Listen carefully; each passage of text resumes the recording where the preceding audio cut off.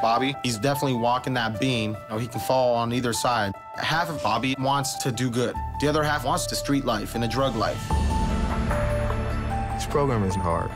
As far as the gang life, um, I'm always gonna be affiliated with my gang. You know, I've did my share of crime, I did my share of time, you know what I mean? It's, it's nothing else you can tell me. I know that he hasn't fully let go of, of his past yet.